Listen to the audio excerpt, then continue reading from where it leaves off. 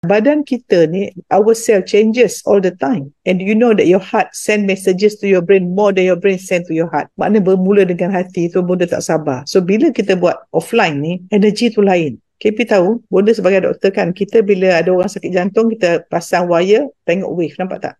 So ada kajian dibuat siapa yang emosi dia appreciation dengan emosi dia stress bila dia record yang appreciation, love, joy, yang emosi baik tu semua regular. Siapa yang stres tak regular. Dan tak regular juga mengeluarkan hormon tak baik dan vibe dia pergi pada orang. Kita punya badan kita ni kita ada wave elektrik jantung kita 3 hingga 5 kaki. So bayangkan kalau kita tak lakukan bila kita masuk dalam offline ramai-ramai kita punya energi dengan kasih sayang tu dahsyat dia punya energi. Lepas tu yang boleh suka nak buat offline seminar tu. Kita ada pergerakan badan dan repetition, repetition, repetition masuk subconscious mind yang menentukan 95% of our life. Wallahualam.